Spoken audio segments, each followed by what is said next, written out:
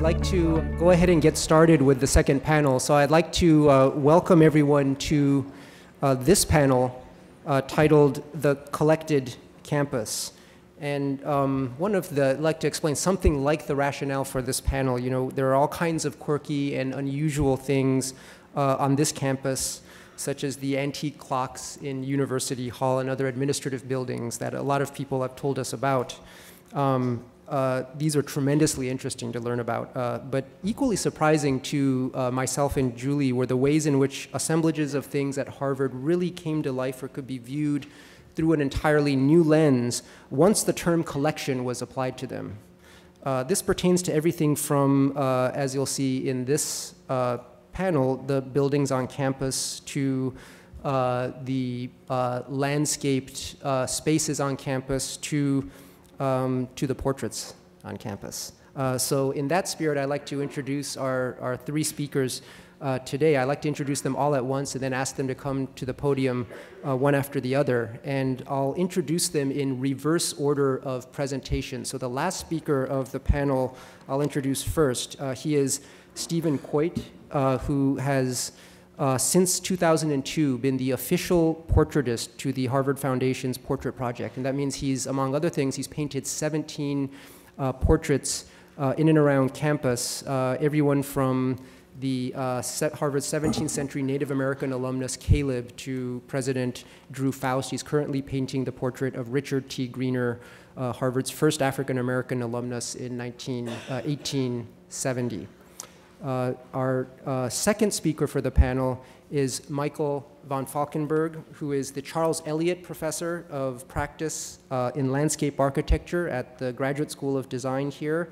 Uh, he's also the head of Michael Van Valkenburgh Associates, which he founded in 1982, and they have, um, he has uh, designed and conceived of over 350 projects, everything from the Brooklyn Bridge Park to the uh, Wellesley College campus plan to uh, the restoration of Harvard Yard.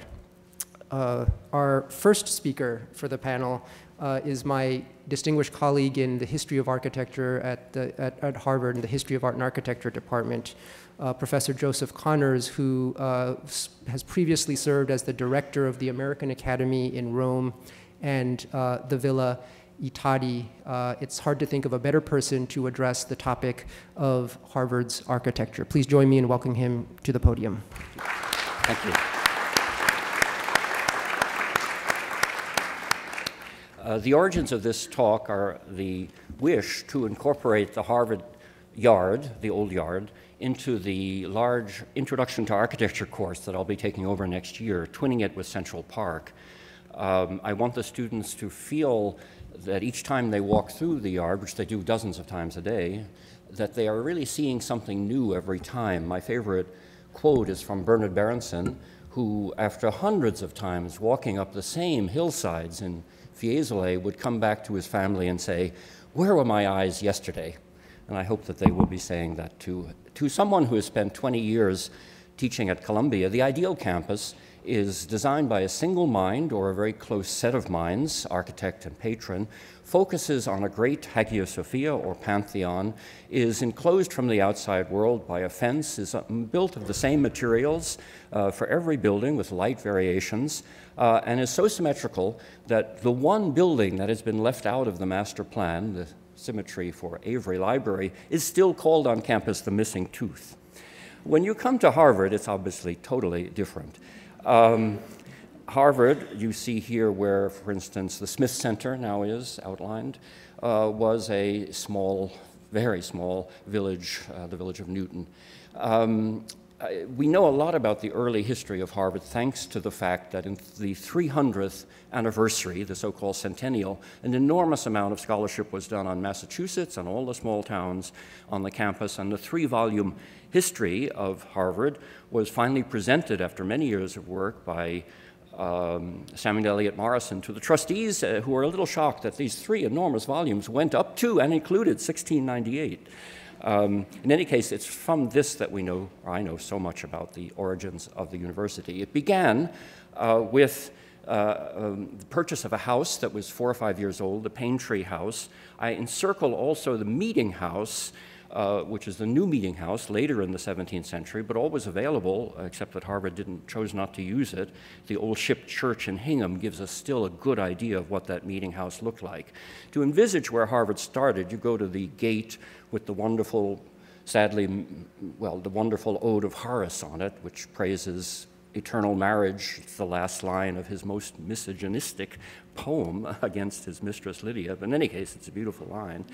Uh, you see where the Peyntree House was and its lot or yard for uh, obviously farming and cattle grazing, abutting on the ox yard to the north, looked something like this. The Peyntree House was first used, and then Harvard Hall, demolished 40 years later, was built on the back of the, on the, back of the lot. If you look closely at the gate, very nicely, uh, an inscription commemorates the second house, the Goffe House or the Goffe College, which occupied a long, similar lot.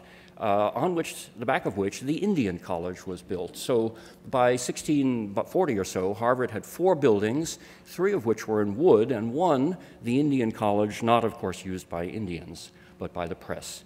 Uh, and this is just to remind you of things on the right. The Wadsworth House of the 1740s is still there, and you can get some idea, as I said, of the um, uh, of the meeting house. Now, Old Harvard was reconstructed in the 1930s by Morison and Shurcliff, and it's where all of the great events of the early history of the university took place. Uh, this is their idea of a kind of Tudor mansion. Um, it's a time when Harvard was suffering the great remigration of Puritans back to Puritan England, which they now found sympathetic, finally.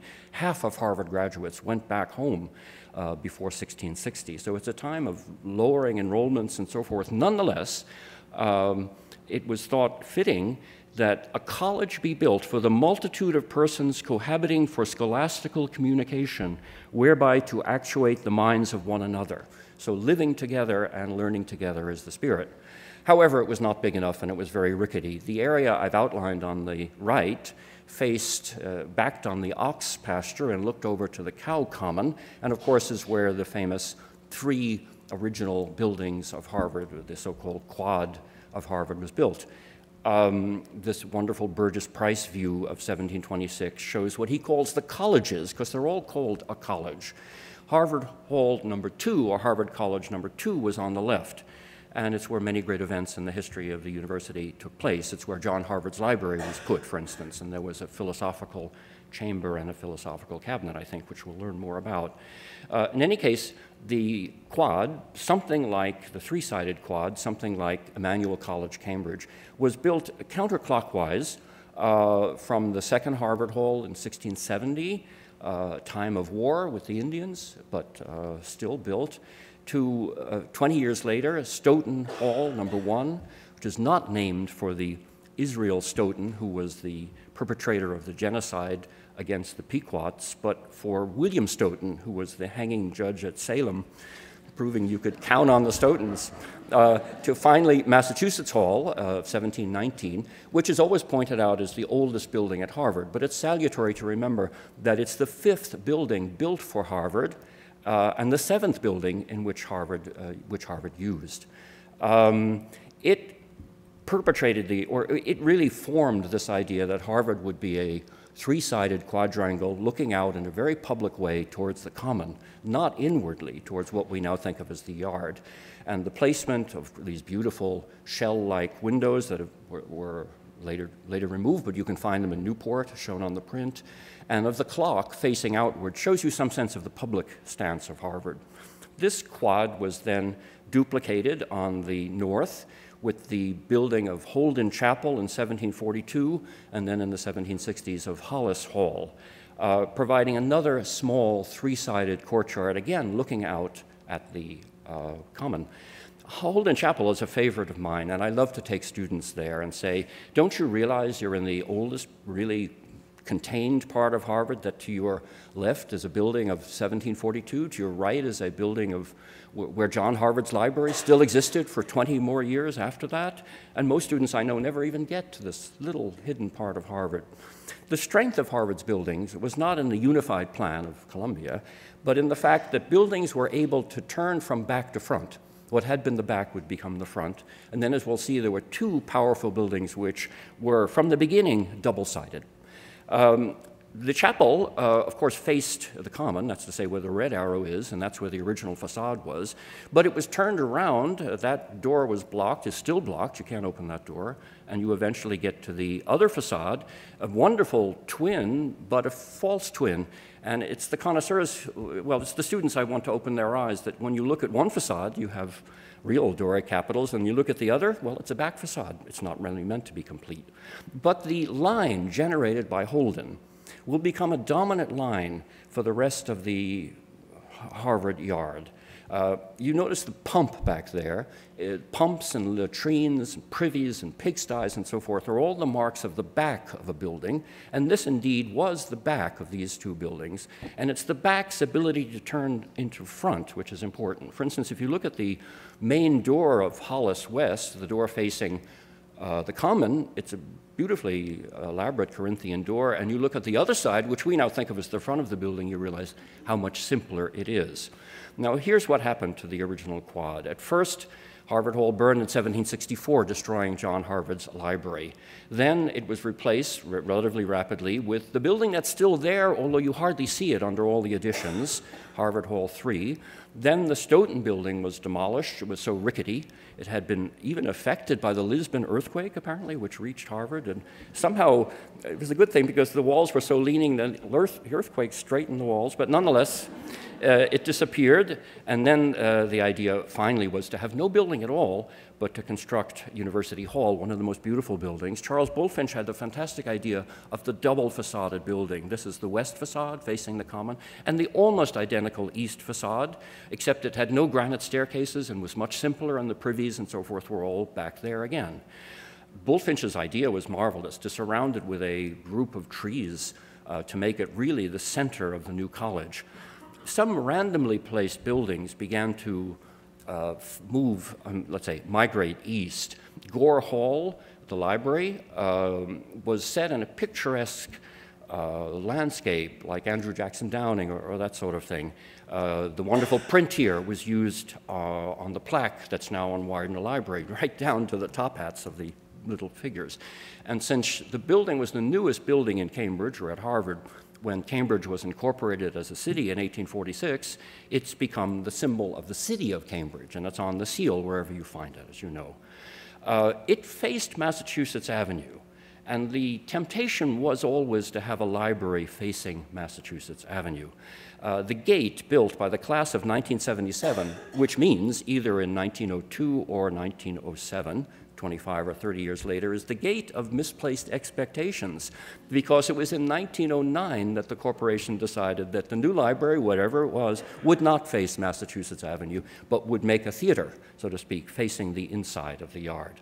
The other building, somewhat randomly placed, well, not quite randomly placed, is the Gothic Chapel of 1856 uh, of course demolished now for a memorial church, but put right on line of Holden Chapel. And that line going through Appleton Chapel would eventually give the line of Robinson Hall, which would make the final quadrangle on the eastern side.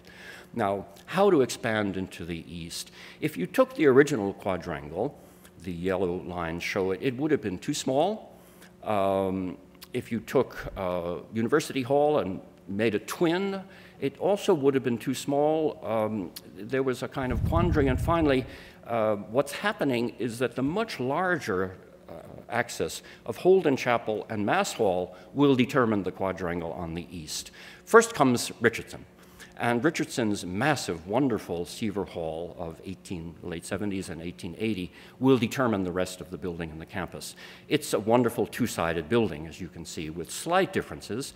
Uh, for instance, the beautiful arched door facing the yard is very different from the classical door facing what's now the Fogg Museum, but otherwise it's double-sided. And from the office of Richardson, we have an amazing plan that shows that three, not, not only would we have had Seaver, but three other turreted castles in the Romanesque style would have made the boundary of the campus on Quincy Street.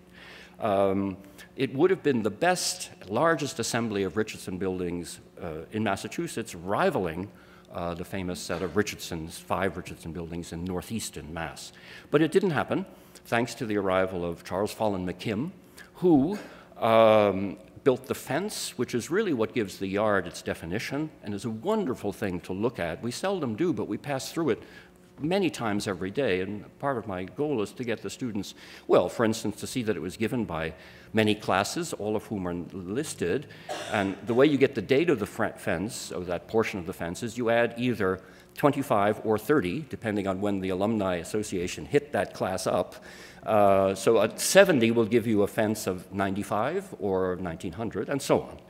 Um, some gates, of course, were paid for by not by alumni classes. The, uh, the McKean Gate, opposite the Porcellian Club, is wonderful for lovers of Florence because it brings the fantastic uh, Mannerist Porcellino, the origin of porcelain, onto Harvard's into Harvard's sculptural repertoire. The biggest and best is the Johnston Gate, uh, 12 huge piers paid for by Mr. Johnston of Chicago.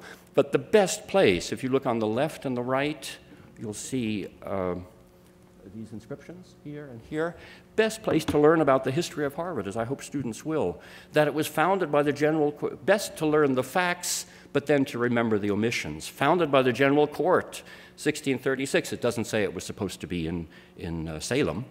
Um, then ordered to be at Newton. Well, why at Newton? Well, because Anne Hutchinson was creating so much trouble in Boston that you could preach without going to the university. They said, let's not put it in Boston either.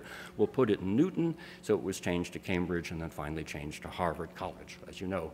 And on the other side, this wonderful text, New England's First Fruits, is the missionary pamphlet sent back to the Society for the Propagation of the Faith in uh, the Gospel in New England, sent back to England because they were generous with the idea that Indians or Native Americans would be educated in this college. Uh, the Johnston Gate has another thing that often slips below the threshold of our consciousness, namely, bad brickmaking in the colonial era often burned the bricks, and that was imitated by McKim in a marvelous way, which is now called Harvard Brick. Go to Widener and so forth, you can find it. Other things that the fence do that we forget is it gave um, water to students and, of course, to passing horses, which were still going on Kirkland Street in the first decade of the century, such as this lovely fountain of 1907 on the left. Um, and this fountain, the Lion Fountain, just opposite the firehouse with a huge trough, in, in a big exedra, and I often ask myself, what is this exedra doing? uh, with the two openings, not in the center, but either. Uh, and then I said, well, let's take away Canaday, see what happens. There's the old Fogg on the right and this exedra on the left, and there's Canaday blocking everything in a very insensitive 1970s way. But if you look at where those lines of sight went, one went to the tower of the old chapel, still there in 19, 7. And the other one on the left, the one that goes straight, goes all the way across campus and winds up under the later Wigglesworth and winds up at this wonderful Dexter Gate, where if you go into the Dexter Gate, you say, Enter to grow in wisdom. And if you leave the Dexter Gate, you say, Depart to serve better thy country and thy kind. All of this was connected visually right across campus, now blocked by planting and by Pusey and by, of course, the terrible Canaday. Back to uh, the Richardson Quadrangle. Uh, on the left, you had Emerson Hall, built around 1900, but the money for Emerson came not from those philosophers who are so proudly trumpeted in the uh, inscription, but from something called the Department of uh, Social, um, not social thought, what is it? Um, social ethics, which was highly endowed. In fact, it brought in the money uh, Francis Greenwood Peabody's friendly donors brought in the money not only for the building, but for something called the Social Museum uh, in Emerson Hall. And uh, this is what that was like, a study which we would now think of as something like social work or social ethics. Um, beautifully uh, cataloged recently in an exhibit in the Fogg Museum. And on the right, Robinson Hall, which all of our uh, history students, we've just heard about this, go in thinking it's history until they look up and say it's architecture, uh, built by H. Langford Warren. And my hobby at the moment is to find the sources of all of these wonderful reliefs on the idea that every learned person at the time would have said these are all pretty obvious. They're part of the baggage of culture that we all carry with us, like this famous sarcophagus now in the Vatican, or uh, the wonderful inscriptions all from Pompeii when you think of the McKim firm trying to do inscriptions. In any case, uh, uh, what happened to this um, uh, enterprise? The, uh, showing you some of the things.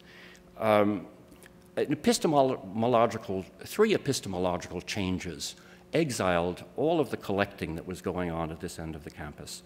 Uh, in the old Fogg Museum, the idea was no longer casts, it was full of casts, and the wave of casts swept through America in the 1890s, but the real thing. How many of those statues are real? Only the Warren torso, which is now in the Fogg Museum. And the idea was authentic art, not cast, will be the teaching of the future, which was the philosophy of the new Fogg. The Social Museum was swept away by the introduction of scientific sociology, which resented as a department the presence of social ethics and gradually exiled the museum and absorbed it into itself in the 1930s. And finally, just as the Smolny convent in St. Petersburg was the place where Lenin hatched the Bolshevik Revolution, so too uh, uh, Robinson Hall was the place where the course of architecture in education in America and in building would be changed drastically as the new uh, dean, uh, Hudnut, arrived, uh, sweeping away all those casts, hiring Gropius, and introducing an entirely different philosophy of education. The east end of the campus, so full of collections, after the 1930s would have no collections anymore. Thank you.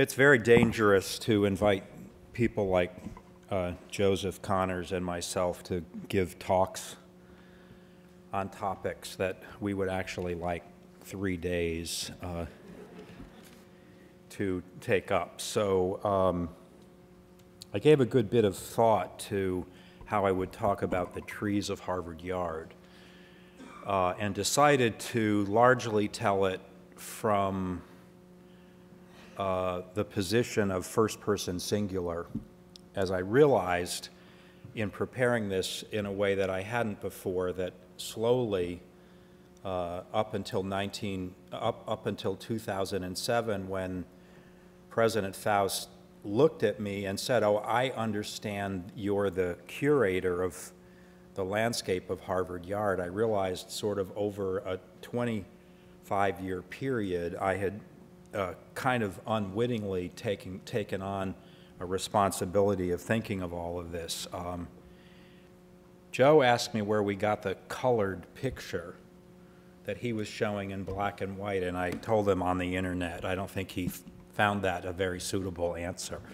Um, but uh, my young assistant um, uh, found this image to start with, and one of the questions that I wanted to think about relative to collecting is the uh, uh, things that are living like landscape is the nature of the entity that collects them and the frame that they're collected in and uh, and and why they were collected. Uh, and I, I think Joe did a wonderful job of uh, actually showing me things about the yard I had never seen but I can't help but think about the significance of uh, the early, we, one presumes that there is some accuracy, although one never knows with these engravers because they took great liberty uh, on landscape. Uh, there probably was a tree there, um, and it probably was an elm, but it is the beginning of a very huge problem for Harvard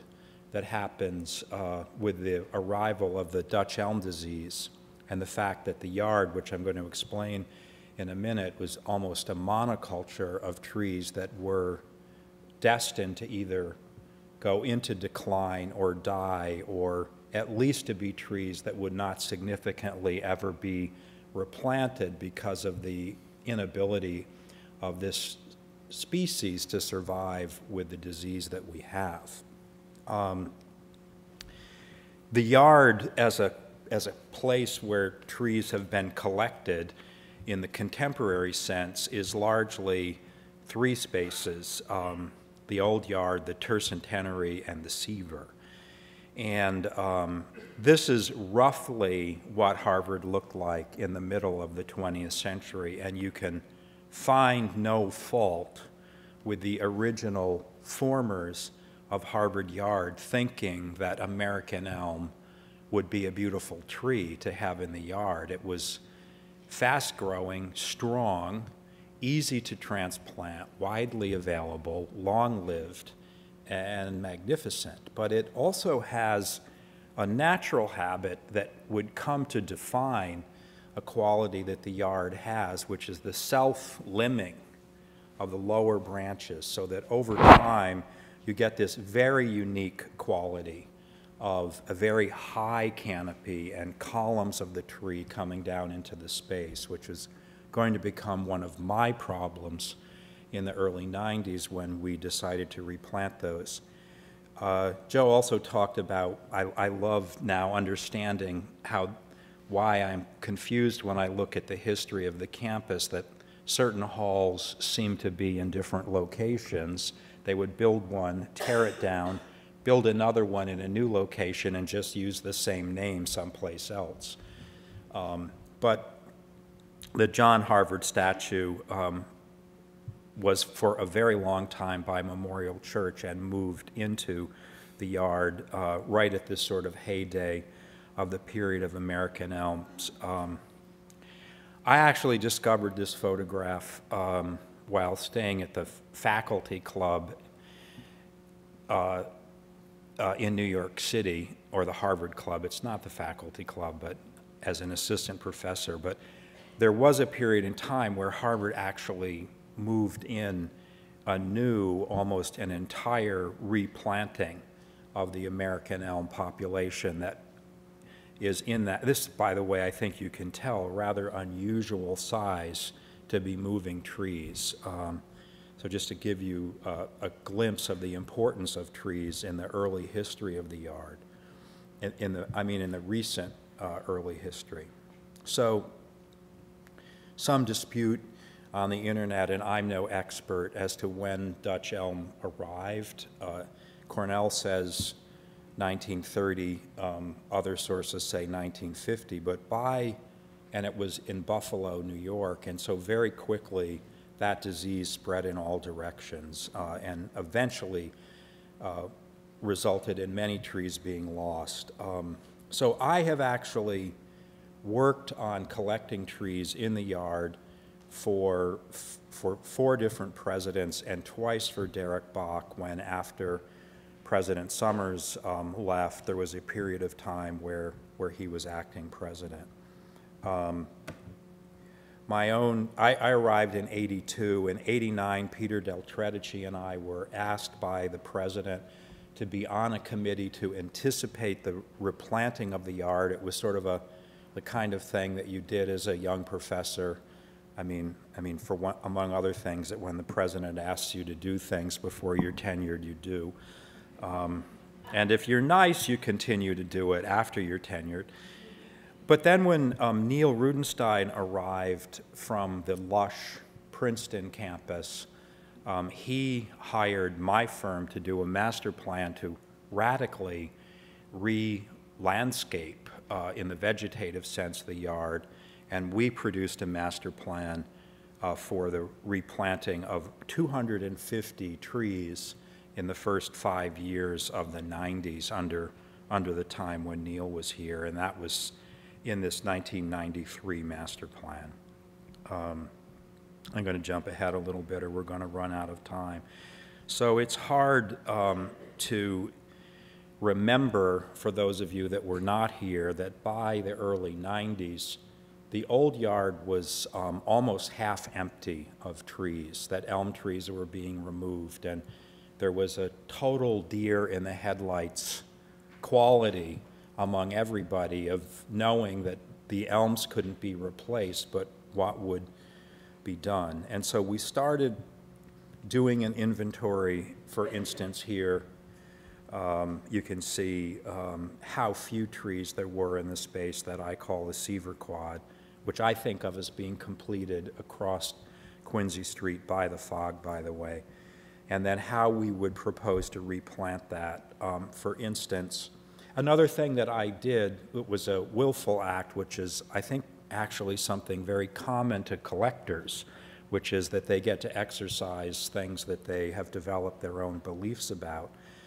But I, or we, my office and I, chose to commemorate the entrances to the yard all the way around by pairing trees that restated the point of entry. And that was something that I had seen in the remnants of the Olmsted brothers replanting of the yard done elsewhere. There wasn't really any more legitimacy beyond that than I had seen its value, but also there seemed to be this interesting palimpsest of entries which had existed and which had been closed and which I wanted to draw new attention to by pairing trees at the entry. So this is actually a, a, a male and female uh, Kentucky coffee tree um, right after it was planted in 93, and this is um, Matt Moffat's photograph that he took just a day ago of seeing how that pair of trees is growing.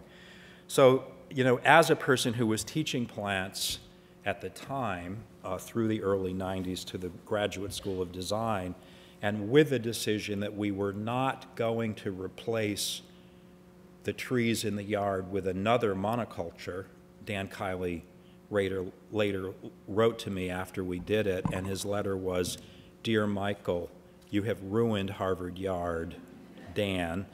Um, but for instance, for those of you that know Smith, where they elected to do it with Zelkova and, and Illinois, where it was done with honey locust, there have been similar, not at Smith, but at Illinois, similar consequential losses of monocultures. And so we made a decision partly as a collection for students to study but also as a way of creating something more ecologically sustainable to, to plant, replant the yard with 30 species. Um, to, um, in certain spaces, such as at the, um, at the end of Sever and Robinson, we chose to introduce plants that were actually, in some ways, I'll be kind and say unusual to the yard, which was to introduce a planting of four metasequoias, but recognizing Harvard's presence in, um, in contemporary horticultural history of introducing that tree uh, from China.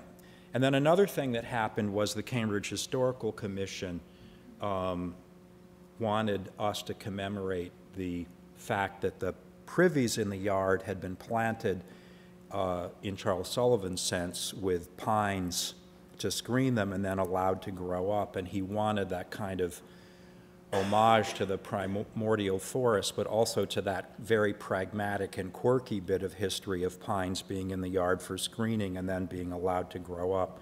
So those were replanted. Um, so I'm a little bit over my time. How much longer do you not want me to talk? Two minutes? Okay um, my drawing actually of the tercentenary, but explaining one of the uh, one of the central ideas, which was that the middle of the space um, would have um, trees with lighter foliage and bring the sense of brightness and definition of the center. So we did use honey locust with its sort of dapple light, and then a stronger reiteration of the perimeter with geometry uh, and, and, a number of red maples, and then, um, which is very funny, the planting of uh, yellowwoods to coincide with graduation um, around the first week in May when it no longer happens. Um, and so the yellowwoods live on beautifully, and I lovingly remember back in the day when they bloomed during graduation, and it's just another one of those marks in history that's a I guess, another aspect of collecting, uh, which is that decisions are made for one reason um, and then it, that changes. So that's what the trees look like on the top after we planted them, and then on the bottom, the yellow woods have um, done extremely well and filled in. Um, we were very barren of trees by the early 90s, um, and then the replanting of those. And then I guess I'll just make one other point and then run through the slides. What we observed had been done historically was that when trees that were not elms were introduced into um, the yard, uh, arborists and I suppose maybe landscape architects had made the decision to remove the lower branches. And the identity of trees is very much through their form, among obviously their leaves and other things. And so this is actually a, a, a, recent photograph. You can see one of my white pines in the distant planted and growing up. Um, you can see American elms and red oaks looking very similar because the lower branches have been removed from the red oaks to make them more like elms, which is what the tree on the right is, because there still are many elms in the yard. But as a strategy, we have taken the collection, which has ecological diversity, and working with the amazing people who run the grounds department, and slowly are removing branches so that that vaulted and lifted feeling that the elms had um, as a monoculture or nearly as a monoculture um, is today complemented with um, the others. I'll just go through these so that you've seen them. Um, I wanted to end on, I think, one of the really major changes. Uh, when Drew became president, I told her I, I told her I hoped I could walk around with her that summer when things settled down and explain what we'd been doing in the yard. And she turned to me and said, you know, if I could grant you one wish, that isn't exactly what she said, but it was kind of what she said. If I could do one thing for you, what would it be? And I would, and I said, I think it would be great to bring in this guy T. Fleischer, who is working on how biologically to reinvigorate the soil and the grass of the yard, but that in so doing, by changing the chemistry and the biology of the soil, I think we would lengthen the likelihood of the, of the trees as a collection sustaining longer. And she did. That she just, and it was a switch that was actually ready to be thrown in the politics of the university. But um, we have one of the greenest campuses in America because of, of, of that decision that Drew made. So anyway, thank you.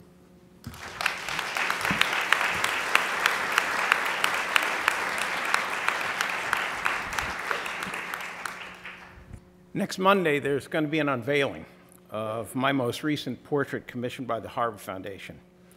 The portrait honors contributions and accomplishments of United States Treasurer Rosa Rios, a 1987 graduate of Winthrop House, where the portrait will hang. Rios has led a distinguished career in regional economic development, and while at Harvard, she played a critical role in the creation of the Harvard Foundation, which is dedicated to improving uh, cultural diversity relations at Harvard. Her senior thesis was on changing notions of Latino identity. To my knowledge, of about 700 painted portraits at Harvard, uh, her portrait will be the first of a Latino, and certainly the first of a Latino woman. I'd, I'd show you the portrait, but it's an unveiling, and I can't. Um, the setting of the portrait is her Treasury office facing the White House with the treasurer's flag of 1789 hanging beside her. And behind Miss Rios is the desk given to Amer the American treasurer by the country France in colonial times. And in her portrait, she looks out at the viewer with confidence, but approachability and encouragement uh, to the students that will walk by the portrait in Winthrop House. It does look different from most portraits at Harvard, and it is supposed to. It's supposed to get attention and have something to say. The unveiling will be a great event. Members of the family will be there, probably some people from Washington as well. And members of Harvard's Latino Student Alliance will play a major role, thrilled that a member of their community will finally find a place on Harvard's walls. At unveilings, tears flow and emotions run high. But I also know that this event is just the beginning of the life cycle of a portrait at Harvard. Portraits last much longer than people's memories, Portraits last longer than rooms in most Harvard buildings, and even longer than most Harvard buildings, as you've heard. This creates an obvious problem. Because where a portrait is hung at a university is often an integral part of the portrait itself. Spatial associations are almost always a vivid component of any unveiling. Moving portraits around, which universities must do for any number of reasons, breaks those associations. This is Belinda Randall, uh, 1816 to 1897. She was part of an important family in Stow, Massachusetts. She and her brother were acquainted with Emerson, Thoreau, and Margaret Fuller, and she was an early subscriber to Fuller's Conversations. Just before her death, Ms. Randall bequeathed to Harvard funds to create a badly needed new dining hall for students at the college. This is Randall Hall. It was constructed at the corner of Divinity Ave and Kirkland Street, and it served as a dining hall for about 20 years, after which it became the home of Harvard University Press. And in 1930, the Storer family gave this portrait of Belinda Randall, painted in 1842 to Harvard to hang in Randall Hall. However, in 1963, Randall Hall was demolished, and it's now where William James Hall is. The portrait of Belinda Randall was moved to the faculty club, but when the faculty club was renovated, the interior decorator in charge was heard to comment and decry the seemingly random portraits on the walls. Uh, she described them as shabby chic. And the portrait of Ms. Randall was sent to storage, the likely final stop for this portrait in its life as a university portrait. If Randall's portraitist had become famous, however, the outcome might have been different. John Singer Sargent was in Boston working on the Boston Public Library uh, murals when he received a commission to paint a portrait of a Civil War veteran who had donated money so that Harvard could create a new dining hall, also a new dining hall, but this one would be specifically for poor students. The new dining hall became the Harvard Union, where I ate as a freshman, and the veteran was Henry Lee Higginson. It was grateful Harvard students who commissioned Sargent to create the portrait.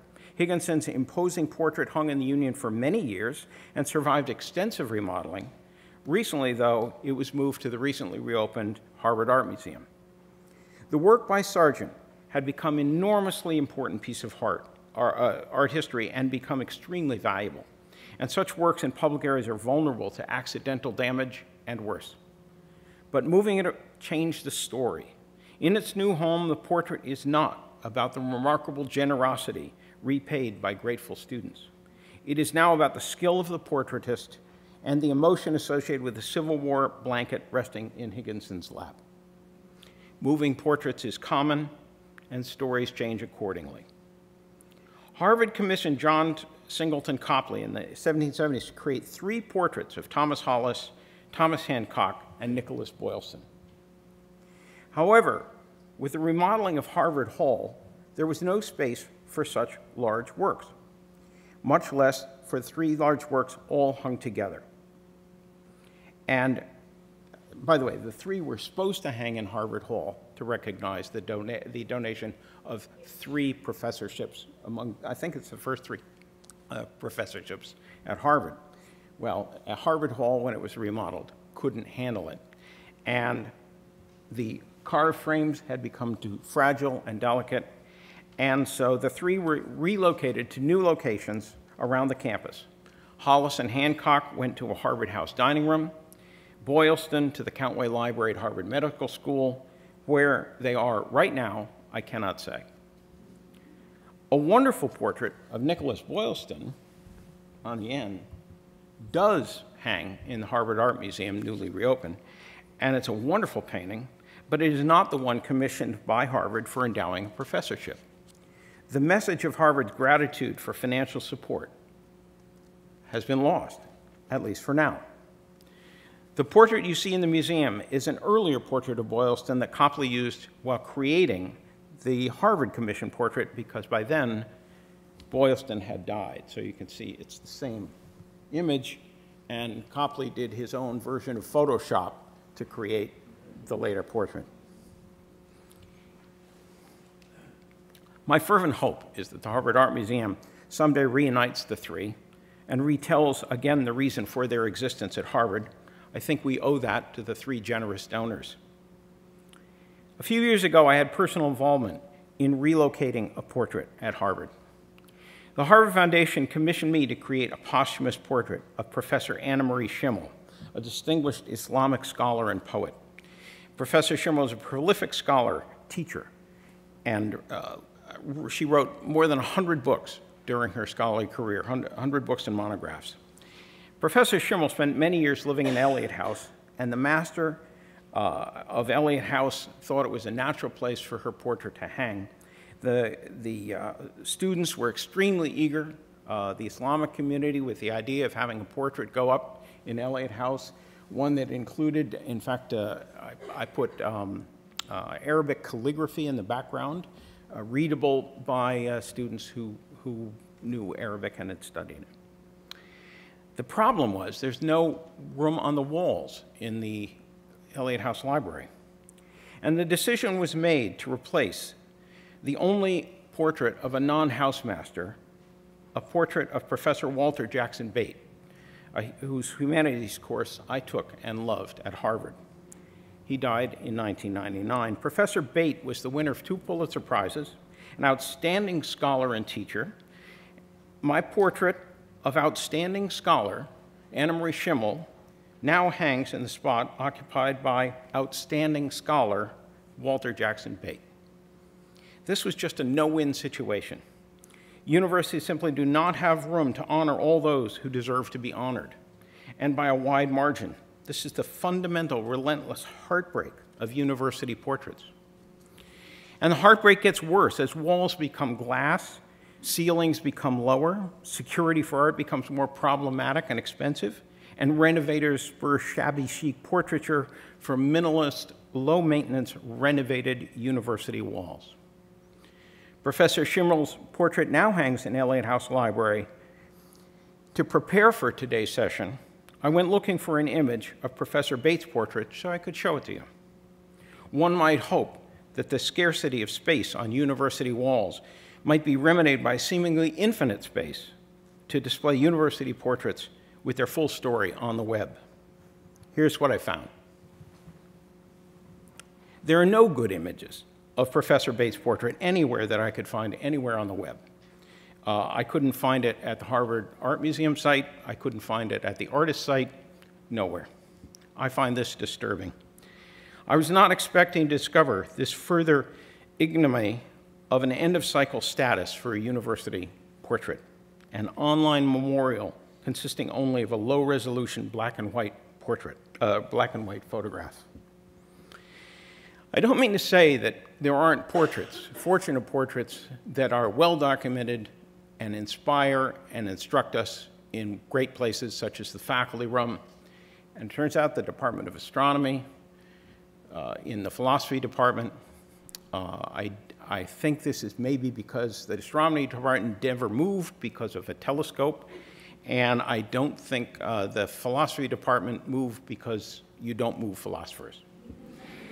Um, these fortunate portraits have escaped another uh, unfortunate end to a university portrait, uh, and a, one I would call anonymity. I visit Harvard buildings and Harvard houses often, and quite often. I'm deeply saddened when I see portraits that have no label, no attribution, no description of why portrait was commissioned or hung. This is because these portraits are refugees of Harvard buildings that have been repurposed, or they are the result of unveilings that were never quite completed with proper labeling, a very common problem and now a bit worse since the Harvard Art Museum eliminated the position of portrait curator when the Fogg was closed for renovation. Unlabeled portraits say little to students other than suggesting that Harvard has a history. And unlabeled portraits encourage and condone ignoring university portraits altogether. I find this a troubling message to give students about the value of history and learning, not to mention respect for the contributions of others. Facing the fact that university portraits must confront a challenging life cycle is not all that dissimilar to what we face in life itself. I mean, we all know that in life we come, we live, and then most of us are forgotten. So apparently, too, with portraits. But the high irony here is that the whole idea of portraits was that they were supposed to change that. In the face of this, as a portraitist, I still try to fight back, to defy that life cycle. I try to make my portraits interesting. I try to tell my subject's story, how they contributed to Harvard and to humanity as a whole, as clearly as I can. I just want to make these university artifacts, like the portrait of Rosa Rios, worth keeping around. Thank you.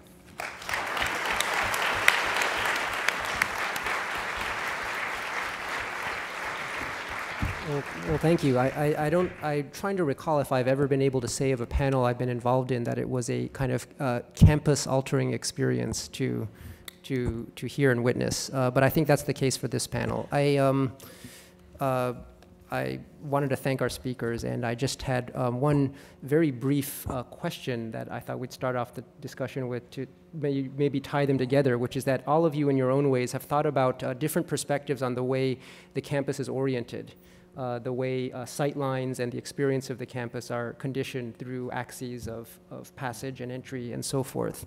Uh, but taking the spirit of uh, Stephen Coit's presentation and asking our other two presenters uh, from their perspectives to comment on uh, whether there are um, objects such as portraits, other kinds of objects which aren't necessarily usually associated with a built environment or with an urbanistic function, which do play an urbanistic role in orienting or conditioning uh, our experience of the campus that aren't necessarily uh, infrastructure buildings or the yard. Uh, would any of you care to comment on this?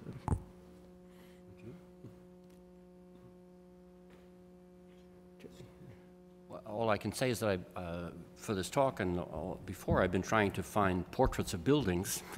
um, and it's a wonderful custom at Harvard when you tear down a building to put a plaque on it which has a portrait of the previous building. Uh, and uh, so Gore Hall or uh, Appleton Chapel are both represented on their successors. And I hope this is continued as a custom. I'm not sure this is answering the question, but in two years, Winthrop House is going to be remodeled.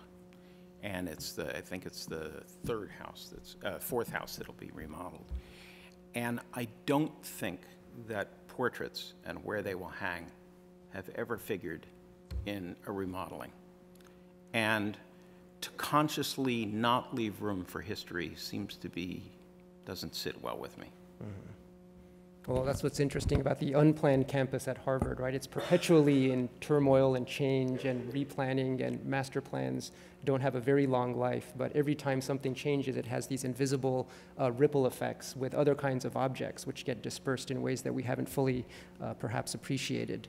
Uh, well, in the spirit of that, uh, I wanted to kind of open the floor to. Uh, to uh, questions from the audience. we have a Q&A. We have a mic set up in the central aisle, so we ask you to just identify yourself and your affiliation when you ask your question. Thank you. Please. Thank you. Hi. Oh, great.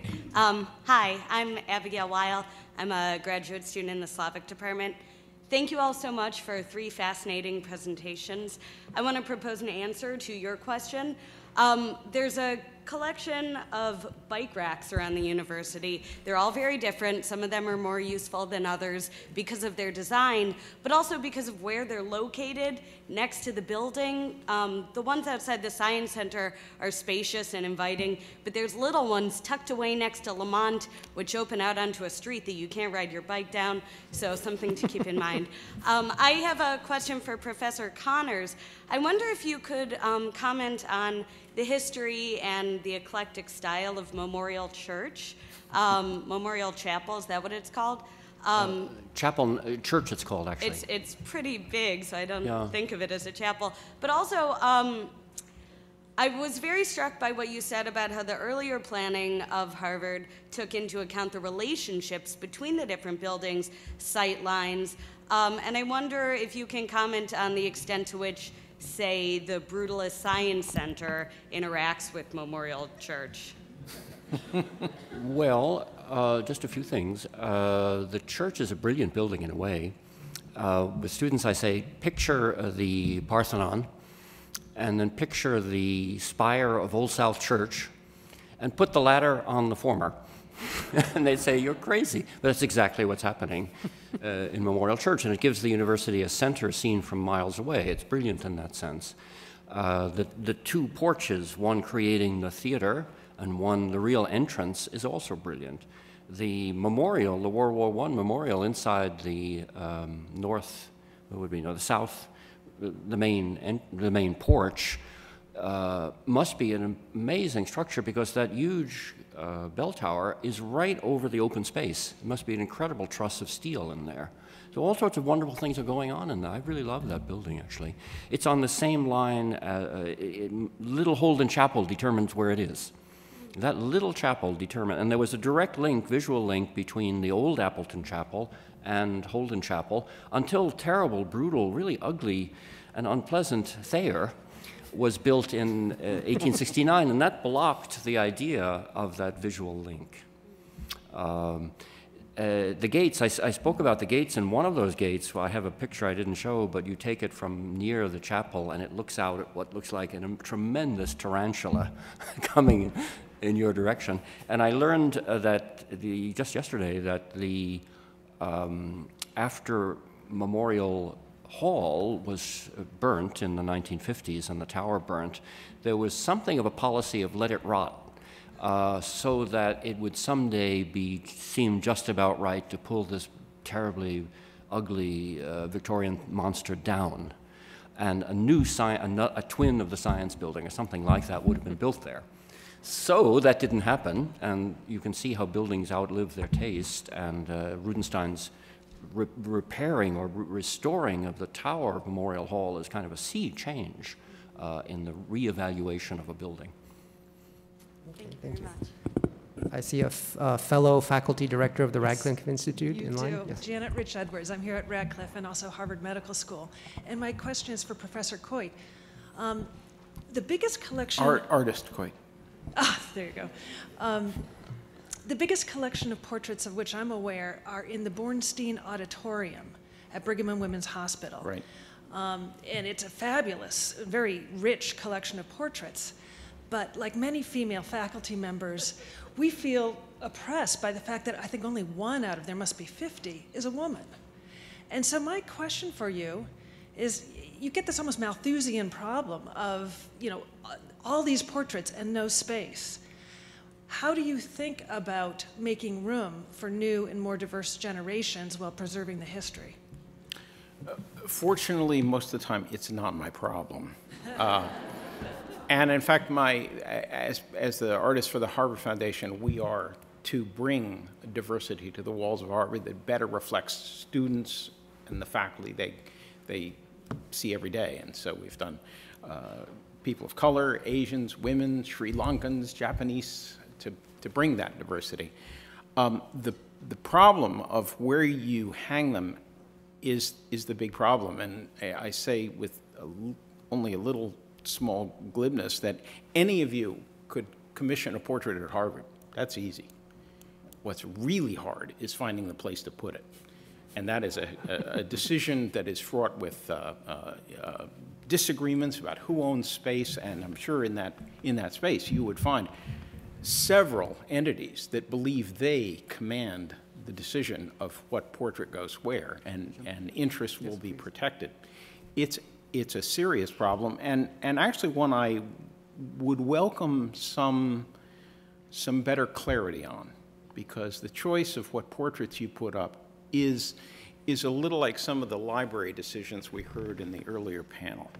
Um, how do you make these decisions to preserve learning, to, record history, and, and given that, that shelf space, wall space is limited, how do you do that? And it's a deeply, it's a deep pedagogical decision that should be made, not through infighting, but by uh, thinking about it. I never like to seriously hear anyone um, feel oppressed. Um, but I do want to reflect that the absence of women in those portraits is an important reflection of history um, and a bad one. Um, and we should be careful not to forget that um, women have not perhaps had the place, even still in this university, that they deserve. I teach in a department that has only tenured two women in its 110 year history, which is shocking in a field where women have played as important a role in landscape architecture as they have, and 70% of our students today are female. Um, But your comment makes me remember how important collections are in terms of what they sometimes inadvertently reflect. Well, I, I just wanted to say I was once in an analogous situation to Stephen's, where uh, as director of the American Academy in Rome, I was ex officio on the board of something called the, we call erroneously the Protestant cemetery. Really, it's the non Catholic cemetery, because you can have Orthodox, you can have atheists, and so on in it, but the non Catholic cemetery. Cemetery. And uh, being in use and people wanting to be buried there, but it's a limited plot of land, our committee was called the Tenure Committee. and uh, if you were John Keats or if you were Gramsci, you, you got tenure. But if you had that wonderful weeping cherub, you might get tenure too. Otherwise, people had to depart. All right, we have time for one final question. Please go ahead. My name is Kanchi Gandhi. I am from Harvard University Herbaria, which has the largest number of specimens, more than 5.4 million specimens. As one of the former deans said, that is the largest one on, of any collections on campus. Anyway, my question is about the Harvard yard trees. You know, the maples and oaks are common anywhere and everywhere. I, was, I have been always curious about this Kentucky coffee plant. Why that plant was chosen? Because it is, it's quite uncommon. Any particular reason it was planted there? Because I taught plants at Harvard and I wanted a place where my students could go and see it. It's a, absolutely as naive as what I said, which was, I, I mean, truthfully, at the time, i it's a tree that's used extensively in my practice, but it's a tree that with age has a structure naturally that's not unlike the American elm. So oh. besides my desire for it to be there, so I could walk up to it with my students and point, it, it is considered by some as a significant tree that had been underappreciated in its history. Perhaps I gave it too prominent a location, I don't know. No, I'd like you to join me in thanking our, our three speakers for this wonderful panel. Thank you very much.